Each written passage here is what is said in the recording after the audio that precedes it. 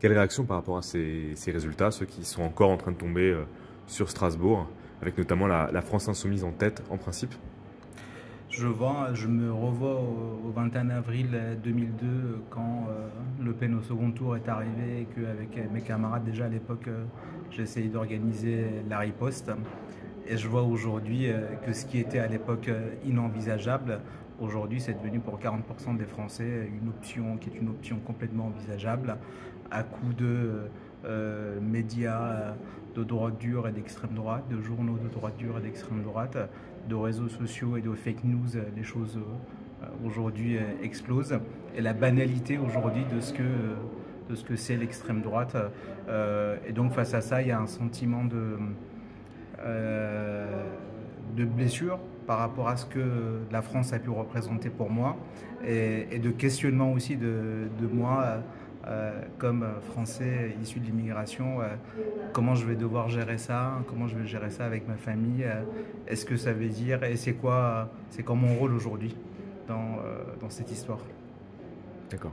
Par rapport aux, autres résultats, notamment ceux des partis écologistes, enfin en l'occurrence des écologistes, assez bas, assez décevants par rapport notamment aux élections de 2019, est-ce que vous êtes surpris?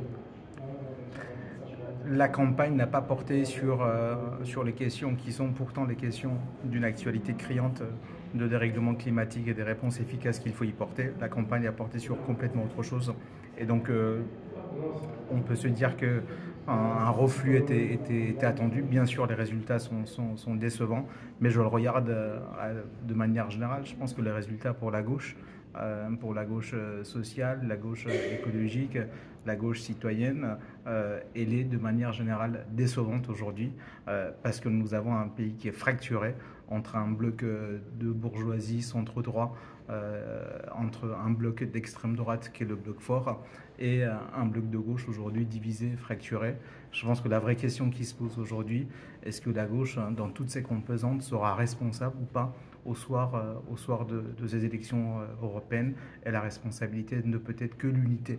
Euh, ne peut être que le fait de retraduire ce que le peuple de gauche aujourd'hui attend et le sursaut qui est attendu. Et ce sursaut, il n'est pas attendu juste pour les gens de gauche.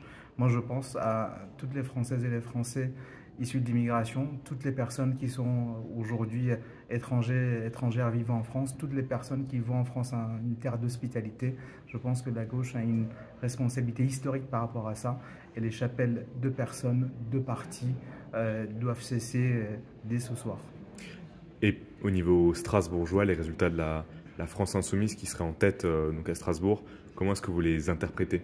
Je les interprète comme euh, aujourd'hui une constance. La France insoumise qui est un parti euh, ancré dans les élections nationales et européennes à l'échelle strasbourgeoise, donc ce n'est pas une nouveauté. En 2017, c'était déjà le cas. Présidentielle de 2022, c'était le cas.